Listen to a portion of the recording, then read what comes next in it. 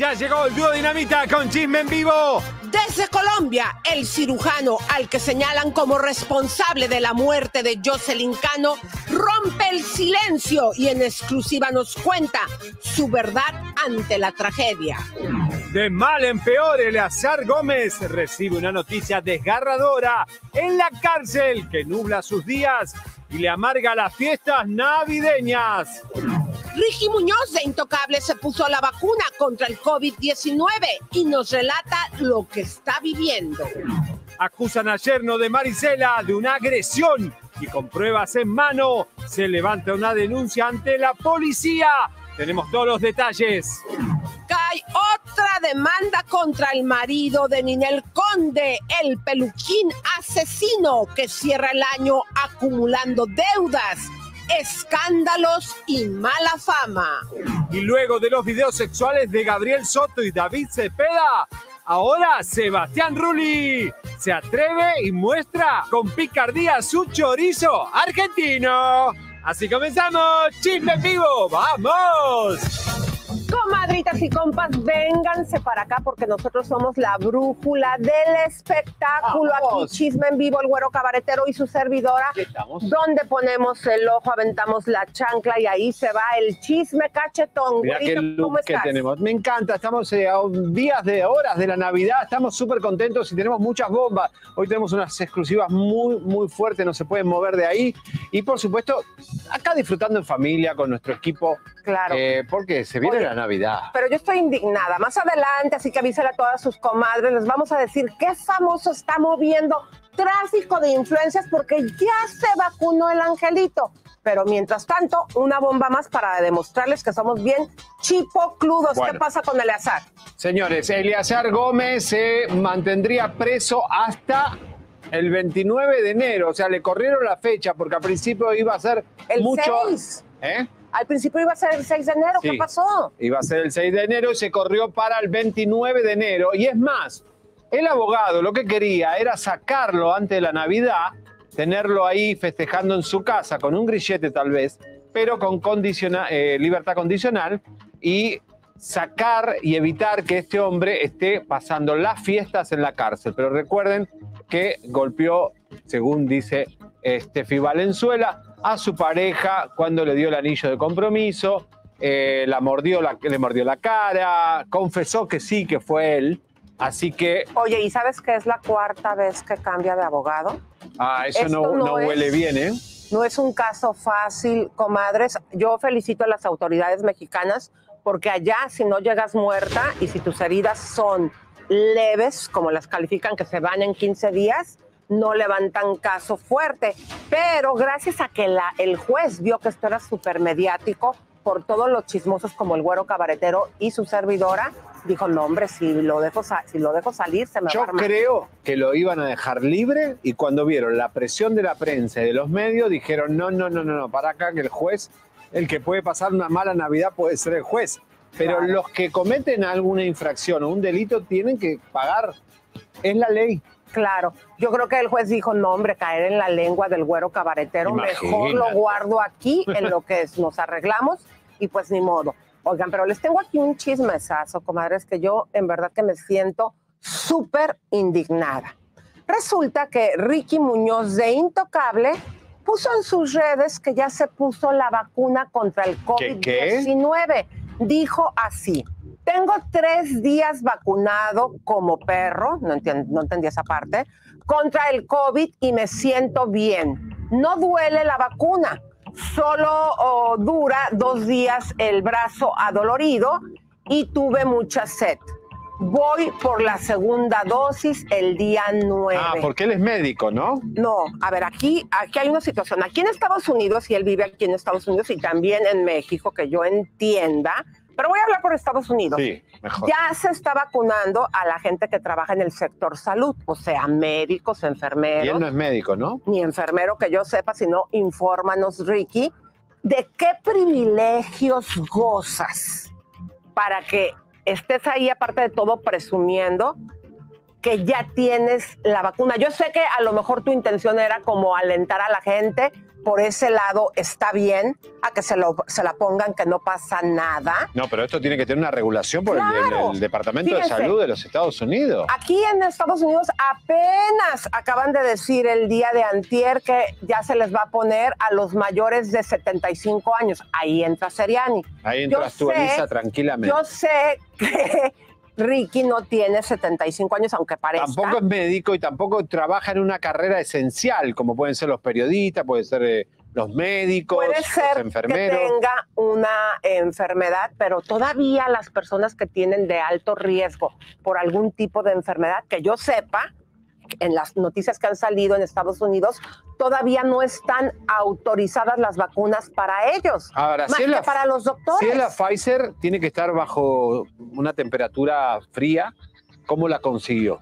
Si es la Moderna. Yo aquí me, estoy suponiendo que para no haber caído en una ilegalidad, posiblemente él sea una persona que esté participando en un experimento, por lo cual ya se le vacunó Ah, y hay que ver cómo es la ley en Texas y que ojalá lo aclare porque si no da confusión que hay gente que tiene privilegio. Esto sería grave a nivel nacional.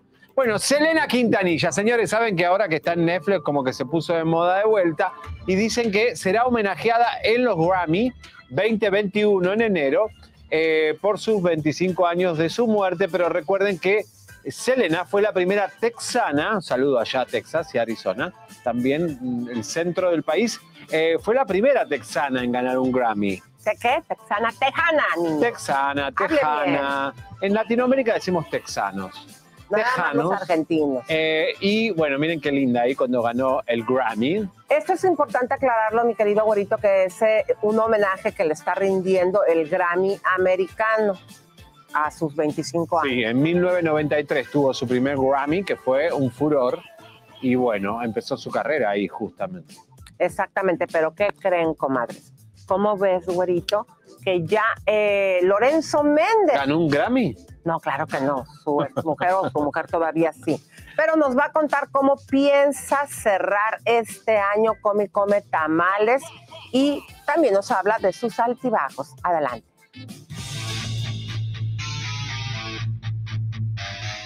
Lorenzo Méndez nos confiesa que en esta época navideña le sale su lado más sensible. Mira, yo soy de, las personas cursis. I'm so, I'm so corny in, in, the fact of, uh, en cuanto empieza el primero de diciembre, ya estoy con mi, mi música de Navidad. Mi hija ya lo sabe, pongo música de Navidad en mi carro, en mi casa ya tengo la música de Navidad. Incluso todas mis luces son como con su cajita de Navidad.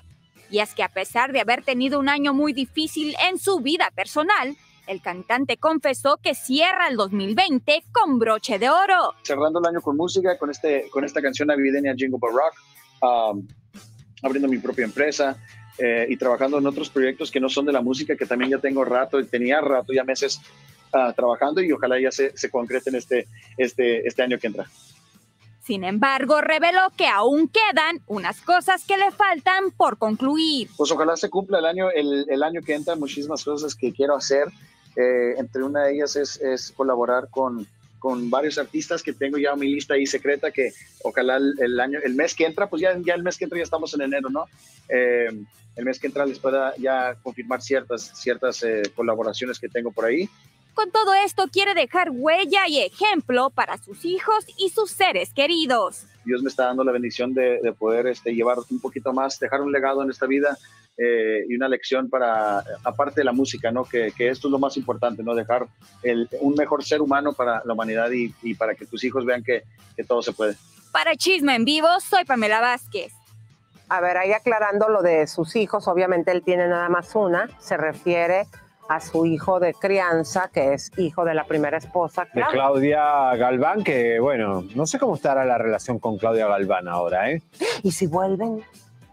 No sé, puede ser. Si se queda sin plata, irá a buscar cobija en alguna mujer con dinero, ¿no? O sea, obviamente. Y la chica, yo creo que la chica va a sorprender el 2021 con una pareja nueva. ¿Mr. Tempo? no, no, alguien nuevo. Va a sacar de la manga un señor. Señores, José Luis de Río Roma hizo dúo hasta con el Papa Francisco, pero esta vez lo hizo también con Nacho Eh, y ¿Qué? Tus zapatos se los prestó que el Miren, los zapatitos del, Papa, miren, a ver, miren qué lindos. Son de diamante de Swarovski y comprados. Swarovski, ¿por qué hablas bien? De, de Swarovski comprados en Ross. ¿Por qué hablas? No sé muy. sabe qué, se como. Señores, vamos a ver qué dice nuestro querido amigo José Luis de, Río Roma. A ver qué, qué trae de nuevo. Nacho y los chicos de Río Roma realizaron una colaboración que promete sacar chispas. Con Nacho lanzamos una canción eh, pues muy divertida, una canción que se llama Picasso y que habla de eso, de colores, de que la vida es un lienzo en blanco y todos los días tú tienes la oportunidad de pintarlo como tú quieras. Y así es el amor también, ¿no? Así que eh, véanlo, la verdad está, está padre, es una canción de amor, pero con un toquecito urbano. Estamos bien contentos por lo que no dudan que sea todo un éxito tal como el que lograron con la adictiva Italia, por lo que seguirán arriesgándose con nuevas propuestas. Pero vamos a hacer... Eh, vamos a ser un poquito más atrevidos en, esa, en ese coqueteo con varios géneros, porque hoy más que nunca creo que la música no tiene, no tiene límites, ¿no? los géneros no tienen fronteras, y mm, yo creo que mientras, mientras eh, tú te entiendas con otro artista y haya una, una real química, una real comunión, pues se vale, se vale hacer eh, las cosas honestamente. Y dinos, ¿con qué proyectos nos sorprenderán próximamente? Empezamos el 2021 también con algo bien padre, con una colaboración bien interesante. Eh, así que muy pendientes de Río Roma MX y mientras ahí les encargo mucho Picasso, Picasso con Nacho, la verdad está bien bonita, dedíquenla. Para Chisme en Vivo, Carlos García. ¿Cómo se usa el peluquín? Para el año que viene me voy a poner. ¿Por qué no le decís a Pepe Garza que se ponga un peluquín? y que se lo pongan como Esos injertos son carísimos, pero Oigan, tenés el pelo parado todo el año. ¿Qué creen que me acaba de decir el productor por aquí, por este chicharo? Que ese señor, así como lo vieron de Federico, que es súper mujeriego y que se agarra a las cantantes, actrices y a las mujeres más Me parece que se agarra a las fans también, ¿no? Como que todo lo que se cruce por ahí, un reno, por eso dice ese dicho, eh, la suerte del... Es un conquistador, el, el bonito. ¿El hermano es el que estuvo con Sherlyn? No, el hermano. Oye, José Luis estuvo con Sherlyn y, el hermano, pero Sherlyn nos dijo que era medio... ¿Y tú tan feo también tienes muchas mujeres? Yo sí, también. Tengo mucho éxito con, con mi mamá y mi hermana. Señores, vamos. Al regresar, comadritas, resulta que el yerno de Marisela es denunciado, se metió en un cuetazo porque golpeó a un periodista y hay rumores que su mujer le pone con otro famoso. Señoras y señores, música de más detención porque desde Colombia va a hablar el doctor que acusan de la muerte de la Kardashian mexicana. Jocelyn Cano va a romper el silencio aquí con nosotros y va a enfrentar a todos. ¿Música más atención? Sí, esa misma. ¿Qué onda? ¿Cómo están? Aquí el joven maravilla leyendo sus mensajes. Les pregunto siempre de dónde nos saludan. Y el primero en contestar esta vez fue Guillermo Marcucci. Muchos saludos desde Argentina. Nos saluda Ari Lunita, está en Querétaro. Eliana Romano desde Miami. ¿Quién más anda por aquí? Pilar Rica K desde San Diego, California. Lorraine Alcántara está en Nueva York. Y Lobo Gómez, que siempre ganaba, pero esta vez te ganaron desde Las Vegas. Miriam Turley desde Buffalo, New York. Y Monde M, no contesto dónde está, solo dice, están feos los dos.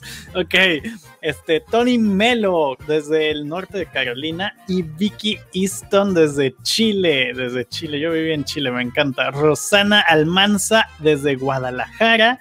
Y Génesis Pinto no te había saludado desde Panamá.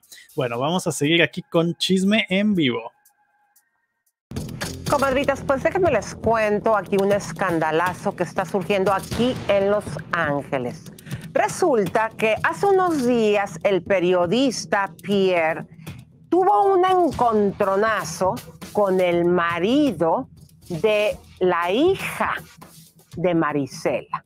Esto terminó en que le tomó su teléfono celular y se lo hizo ante sus ojos pedacitos. Y ahora hay un problema legal y esta gente se niega a pagar. Vamos a ver. Vamos a ver. Ustedes tienen que... A mí no me estás grabando, no me estás... No me estés grabando, no me estés grabando. No lo grabes. No me estés grabando. No hay No me grabes, ¿eh? A mí no me grabes. Porque no sabes con quién estás metiendo. Aparte de lo que hago, no sabes con quién estás metiendo. No me grabes, ¿eh?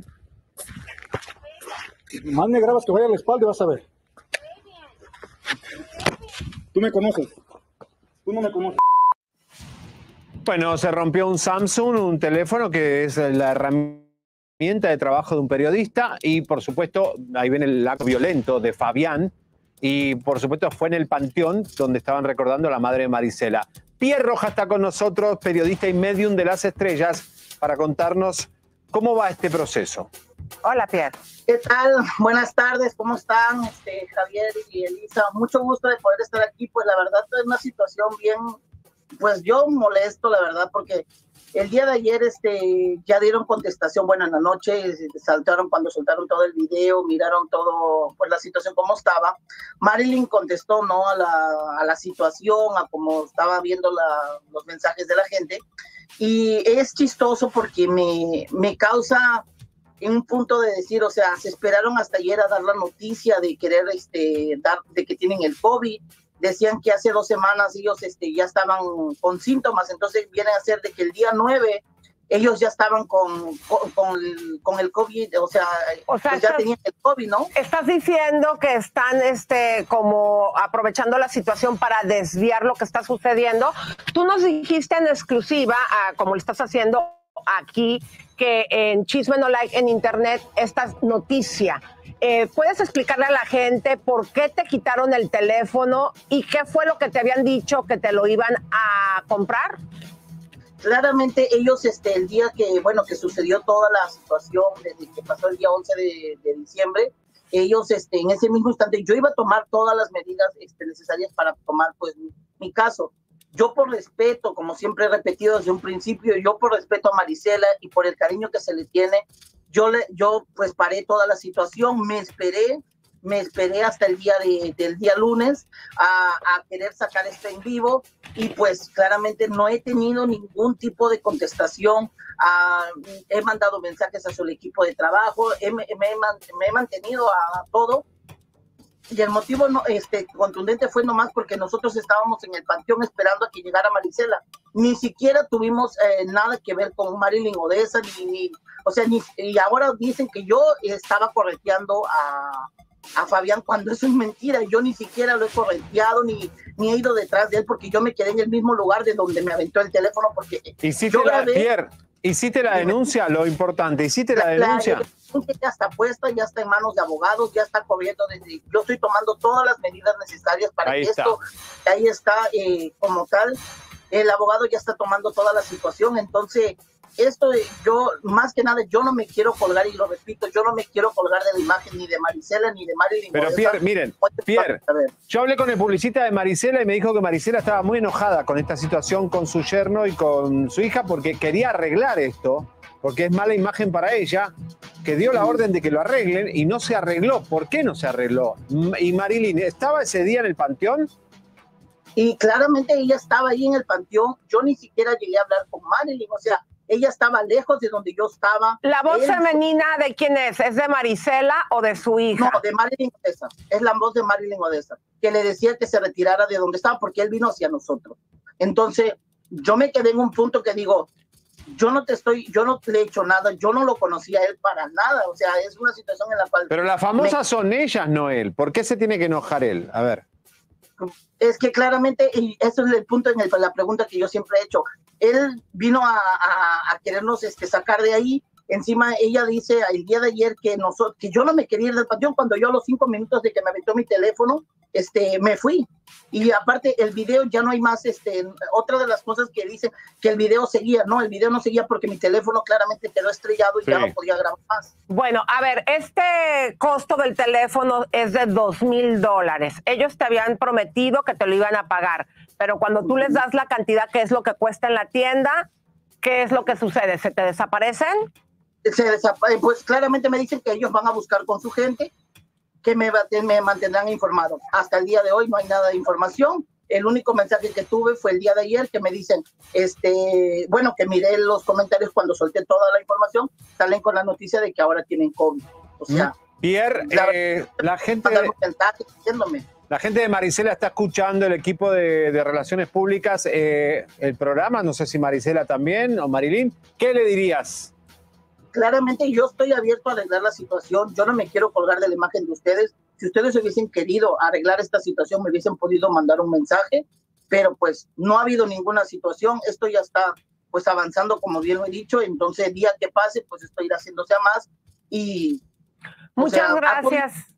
O sea, poder pagar el teléfono y arreglarlo sanamente, sin ningún tipo de darle más bulto, pero no se me hace justo porque pues llegan las fiestas, pueden pasar más tiempo y lo vamos a dejar pasar y no es... Gracias. Gracias, Pierre. Pues bueno, ya escuchó la gente de Marisela. Ahí está la propuesta, simplemente quiere que le paguen y él retiraría. pero además, Elisa, en este país la ley de paparazzi es que si te tocan tu cámara de foto, de cámara de video o celular, te están tocando a ti. Es una agresión.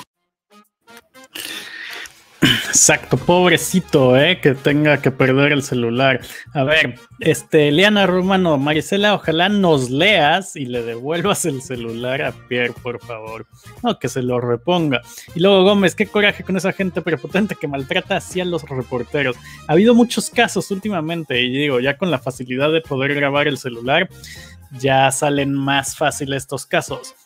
Rosana Almanza manda un mensaje al chico maravilla o al joven, o sea, yo, digamos, da el DD, sí, devuélvele su celular, exactamente. Lorraine Alcántara también quiere que se lo devuelvan. Y Olga Zúñiga, hola, ¿cómo estás? Nos manda un saludo. A ver, Jenny Nova dice, Marisela, yo soy tu fans. ¿Pague? Como, eh, bueno, no sé, no sé, pero Jenny, muchos saludos y Araceli Morga, saludos desde New York. Vamos a seguir viendo el chisme cachetón. Comadritas y compas, en estos días, precisamente el día 17, fue noticia mundial la triste muerte de la influencer mexicana Jocelyn Cano, que se le conocía como la Kardashian mexicana, eh, tristemente eh, se reportó que había perdido la vida dejando a dos pequeños hijitos en una de sus cirugías de glúteos. Eh, se empezó a señalar a un doctor de Colombia, el doctor Hugo Aguilar, como el responsable de esta tragedia. Y como esto es grave y como hay mucha gente que se opera o va a Colombia a operarse también, está con nosotros desde Colombia el doctor Hugo Aguilar Villa, cirujano plástico. Bienvenido a Estrella TV. Hola, ¿cómo están? Muy buenas tardes y muchas gracias eh, por invitarme y también saludar a toda la audiencia. Doctor, ¿por qué se está manejando ante los medios que es usted el causante de la muerte de la influencer después de la operación que tuvo de glúteos?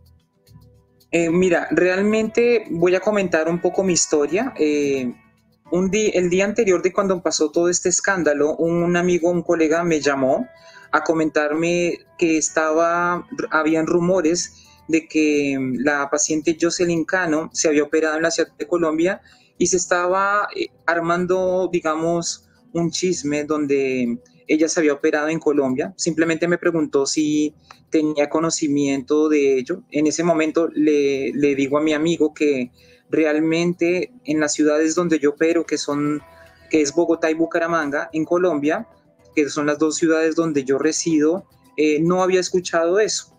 Eh, en estos momentos yo me encuentro en mis vacaciones eh, junto con mi familia. Precisamente en ese momento yo estaba, digamos, en un lugar muy aislado donde no encuentro, o sea, no había señal y ya en horas de la noche eh, empiezo a recibir muchas llamadas de amigos, colegas y principalmente de mi familia eh, comunicándome que existía este rumor donde se manifestaba que era yo la persona que había operado a, a Jocelyn. Eh, y eso fue lo que pasó en esos momentos. ¿Alguna vez la operaste, doctor Hugo? No, realmente nunca. Eh, tengo muchos pacientes que vienen del exterior y precisamente nunca, o sea, la había visto. Eh, había, la había visto una que otras veces en, redes sociales y una de las cosas que hice principalmente fue comunicarme con mi equipo o con mi equipo comercial para ver si en algún momento revisaran, digamos, nuestra base de datos para ver si ella había tenido alguna comunicación con nosotros, pero nunca tuvimos ¿Sabes quién lo operó? ¿Sabes quién lo operó? Te voy a ser muy honesto y sincero. Eh, cuando empezó todo esto, se acusaron a varios cirujanos, eh, también que son amigos míos, y realmente pues a la persona que realmente acusaron directamente fue a mí, pero es algo que no se sabe en, la actualidad quién fue su cirujano. Doctor, eh, ¿cuál es el motivo por el cual en una cirugía de glúteos que según esto tenemos entendido que no entra profundo porque es en la parte de arriba de la piel, puede llegar a existir peligro de muerte. En su apreciación como doctor, ¿qué piensa que fue lo que pasó? Realmente eh, son muchas las complicaciones que pueden pasar en una cirugía. Una de las causas principales es cuando nosotros llamamos de un tromboembolismo graso, que es en el momento cuando eh, nosotros como cirujanos realizamos una, lipo, eh, una liposucción y procesamos la misma grasa de la paciente y realizamos una lipoinyección en la región glútea, donde se puede ir un émbolo graso en la parte de las venas y puede subir tanto al corazón, pulmón o al cerebro. Es como la causa principal, pero pueden haber múltiples factores. También puede haber infección o en algún momento eh, haber tocado algo importante, evitar un sangrado. Son múltiples factores que realmente pudieron haber pasado. Doctor, ¿ustedes siguen operando en época de pandemia, en época de COVID? Eh, ¿Siguen operando normalmente en Colombia? Eh, realmente en estos momentos nosotros estuvimos seis meses eh, totalmente, damos nuestro trabajo. El gobierno nacional después empezó a liberarnos poco a poco los procedimientos quirúrgicos, donde realizábamos procedimientos pequeños. Doy ejemplos como cirugías de mama, narices, porque el gobierno en su momento no lo permitía. Pensar, una de las complicaciones que existe en la cirugía plástica es la liposucción. Entonces, si realizamos este procedimiento puede ocupar una cama de unidades de cuidados intensivos. Por eso el gobierno ha sido muy estricto y también tanto eh, todas las clínicas donde nosotros nos encontramos no es operar por operar. Siempre cada paciente va a tener un filtro muy importante donde debe ser muy seleccionado el paciente. ¿Cómo afecta esta acusación a su persona? Claro, principalmente fue, eh, digamos, eh, fui el principal implicado, eh, donde muchas personas empezaron a acusarme, a tratarme de asesino, cuando realmente desconocían el por qué, simplemente fue un rumor, fue un señalamiento.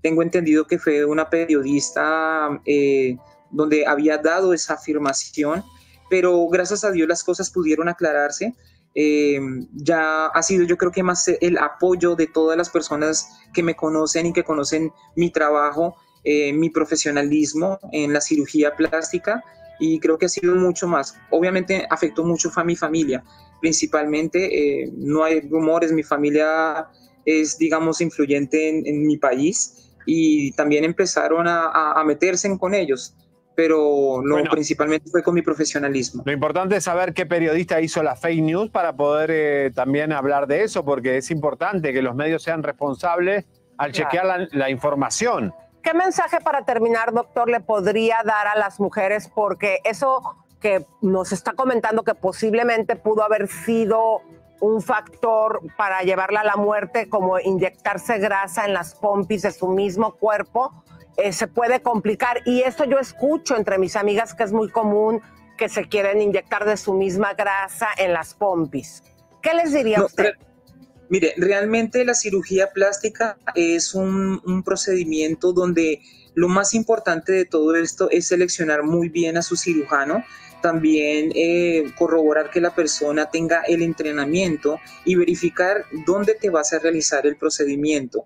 Eh, cualquier cirugía puede tener una complicación. No hablo solo de la cirugía plástica, simplemente puede complicarse al sacar un apéndice y algo, pero ustedes saben que la cirugía plástica es una cirugía eh, electiva, o sea, la persona toma la decisión de realizarse la cirugía. Entonces, lo más importante es que esa persona esté apta No, aquí todo el mundo cree que las personas nos buscan y es operar, no. Nosotros somos muy responsables y muy profesionales en el momento de seleccionar al paciente. Recuerden que tenemos que realizar unos exámenes y también la última persona que va a dar el aval de una cirugía es, nuestro anestesista. Pero también hay adicciones a la cirugía. Ustedes les dicen ya cuando es una adicción, esta chica está muy bien, no necesitaba realmente operarse, esa es la realidad. claro, la verdad, esto está entre la ética del cirujano nosotros como profesionales de la salud también debemos explicarle al paciente y también decirle en qué momento seguir y también debemos aprender a decir no. Muchas gracias, doctor. Gracias, doctor. Fíjense que es No, gracias a ustedes. El doctor eh, quería aclarar esto, gracias, eh, porque está es una grave. pena, porque yo... solo con 29 años, imagínate, dejando a dos niños huérfanos. La famosa locutora de, de Univisión Radio, Betty Pino, eh, falleció por una cirugía de nalgas y también tengo una amiga que perdió la vida en Colombia. Hay que tener cuidado, si morís por una enfermedad, es Dios lo dijo así, pero si es por, por verte más con un trasero más grande, la verdad. Por eso ya no ya le vas a cambiar la carta a Santa Claus porque la ya no voy, vales no pidas más fotos en la, en la cartita de Santa Claus, señores. No más ya regresamos con otra primicia, la nueva demanda de Larry Ramos, el peluquín asesino termina Aquí la Navidad con más demandas, no una, 19.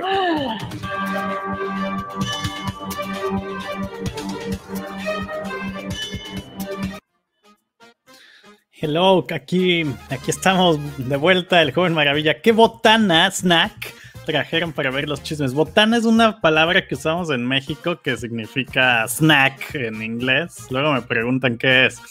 Entonces, Dael DD trajo sus palomitas. Eliana Romano no trajo nada. Adriana también trajo sus palomitas. A ver, ¿quién más eh, tiene ahí? Un delicioso. A ver, no, no, no, ya me pasé ese. Rodolfo Ruiz dice que bueno que lo estén pasando. A mí me gusta mucho su programa.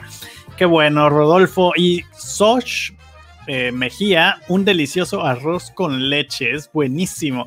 Estuvo comiendo nachos y Ignet, ya me antojaste, yo con tantas, ya para qué pregunto, ¿no?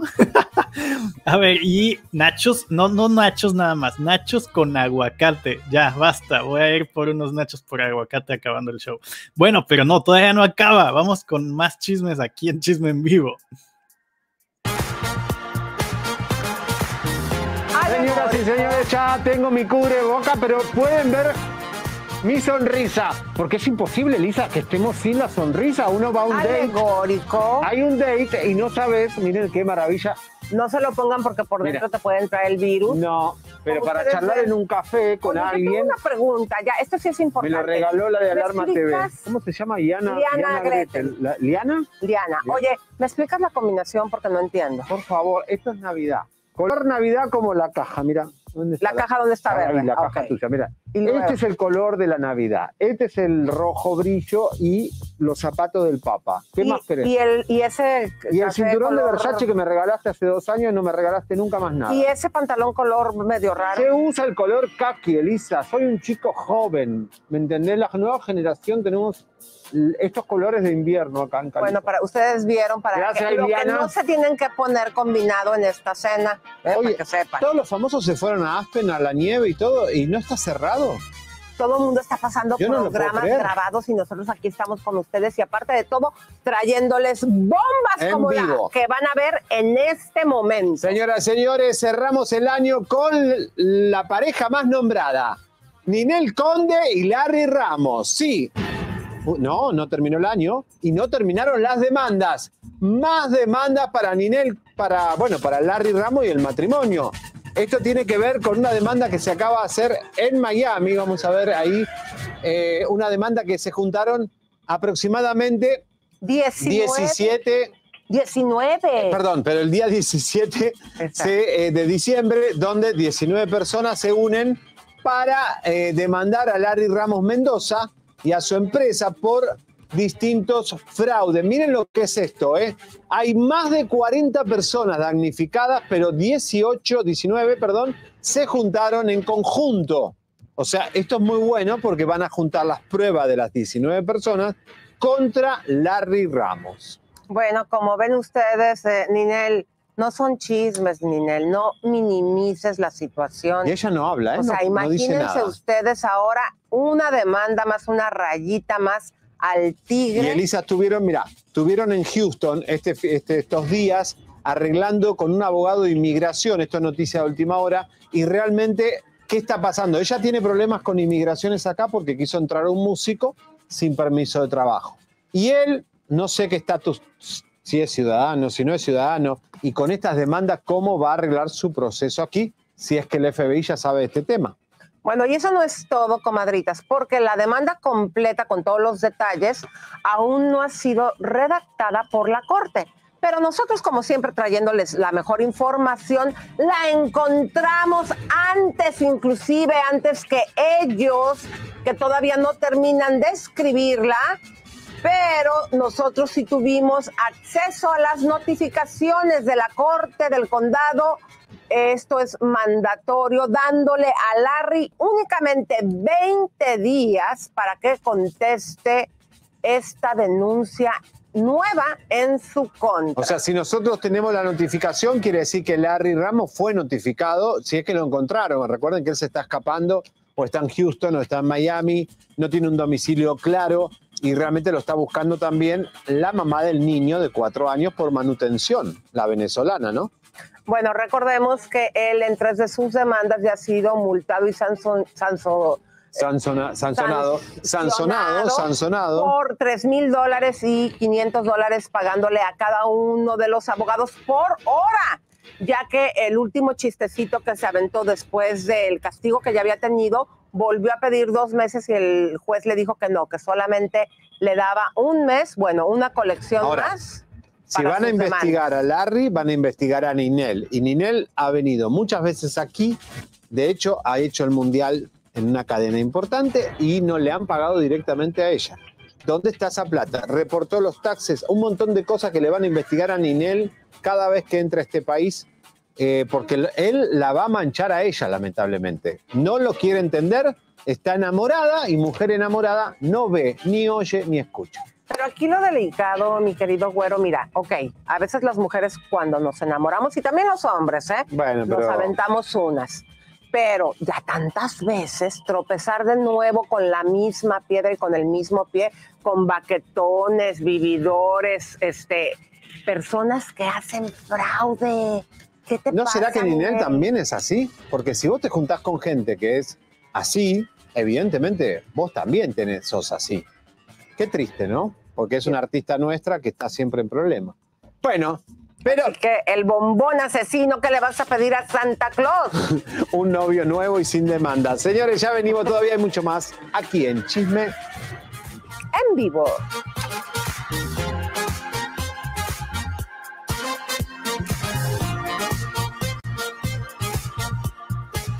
Qué glamour, qué, qué, qué, qué, qué, qué linda la decoración nuestra. La verdad que estamos Miren, muy contentos. Ha habido muy mala información porque algunos periódicos importantes han publicado cosas que al final son fake y mucha gente estaba diciendo que estaba grave el maestro Armando Manzanero y hoy en exclusiva en Chisme No Like hablamos con su hija y ¿qué nos dijo mi querida? María Elena, su hija, habló y lo dijo muy claro. Él tiene una sedación, está sedado y está intubado. Que hace tres días que no, no habla con él. La última vez dijo que él estaba muy contento, de buen ánimo, pero va a pasar la Navidad tal vez sin hablar mañana con su padre. Ella está haciendo guardia en el hospital, pero la verdad que no puede acceder a él. Los médicos lo reportan una vez al día de cómo está el señor, el maestro Manzanero, y sí está intubado, confirmado por su hija, y dice que recen, que pidan por él. Santa Claus, tráeme un regalo, un nuevo compañerito de pupitre. Elisa, acá están los renos, Besos, besos, comadre. los cuernos de el reno Bye. del No me director, del director. No.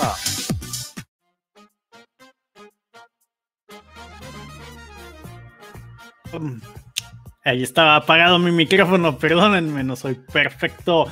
Bueno, Lorraine Alcántara, ahí todos están saludando. Natalie Zamora no te había saludado. Y Lobo Gómez, que siempre está aquí. Abraham Gómez, ¿cómo andas? Patricia Ortega.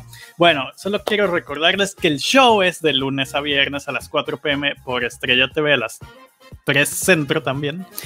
Em, y les quería decir, mañana tenemos un show súper especial. Mañana 24, Nochebuena, súper especial. Lo hicimos así. Vamos a tener muchos chismes muy buenos. Ya lo tenemos pensado. Mañana sale. Pero les quería avisar, el viernes, que es Navidad, no vamos a tener show por el momento. Vamos a tener programación especial por Estrella TV. Pero el show no va a ser.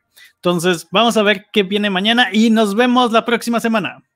Mañana el dúo Dinamita en Chisme en vivo. Afirman que Adela Noriega se deformó el rostro a base de cirugías y botox. Tenemos el escándalo. Luis Coronel prepara tremenda sorpresa para el 2021.